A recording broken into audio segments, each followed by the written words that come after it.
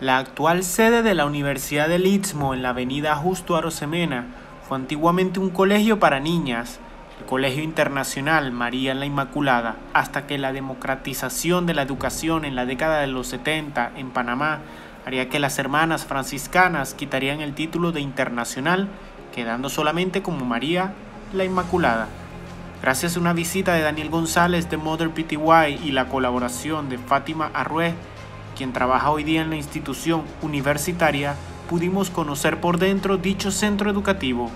Fue diseñado entre los años 1936 y 1937 por Rogelio Navarro, con la petición de hacer una capilla con madera de roble, que hoy día lastimosamente no está para poder ampliar la cantidad de salones del plantel. El estilo arquitectónico de aquel edificio es neocolonial hispano, una reinterpretación del barroco español, un estilo arquitectónico muy en boga en el siglo XX en América Latina. El neocolonial español se caracteriza por una combinación de detalles de varias épocas del barroco español, del colonial español, del neoárabe y de la arquitectura churrigueresca en México. El estilo se caracteriza por el uso prodigioso de suaves yesos lisos o estucos en acabados de paredes y chimeneas, de cubiertas poco inclinadas de tejas de arcilla, de cobertizos o cubiertas planas o de ornamentos fundidos en hormigón o terracota cocida. Otras características habituales son la disposición de pequeños porches o balconadas, arcadas romanas o semicirculares y ventanas de madera, abatibles altas o de guillotina, toldos de lona y adornos decorativos de hierro. Las edificaciones tenían las siguientes características plantas rectangulares o en L con patios interiores o exteriores, formas asimétricas con frontones cruzados y alas laterales, volumetrías horizontales predominantemente de una planta. Si nos vamos al arquitecto, en muchos ensayos se lee que fue el primer arquitecto de Panamá, siendo pionero en el país itzmeño como obras como la iglesia y parroquia Cristo Rey, el cuartel central de la policía de la Avenida A, el mercado de la Avenida A, el edificio del Patio Rochet en la Avenida de los Mártires y la residencia del señor Pablo Otón.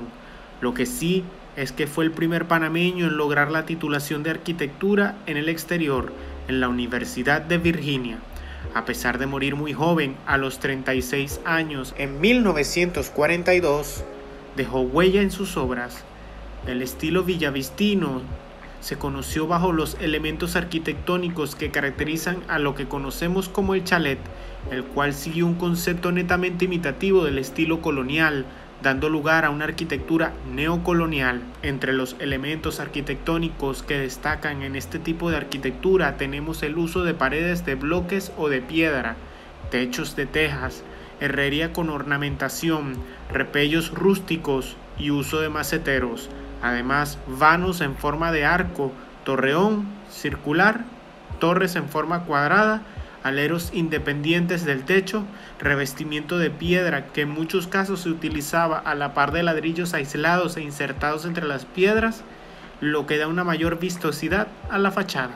Es muy marcado el uso de arcadas y de herrería exquisita debido a la gran ornamentación y detalles decorativos de hierro, uso de barrotes torneados, grandes aleros, cubiertas de tejas con diversidad de diseños y pequeños techos independientes de la cubierta principal, los cuales tienden a cubrir vanos de forma separada.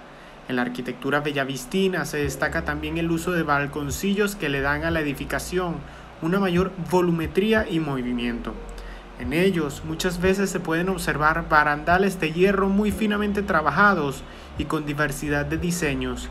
En algunos casos, los balcones los encontramos corridos, pues abarcan varios vanos entre puertas y ventanales.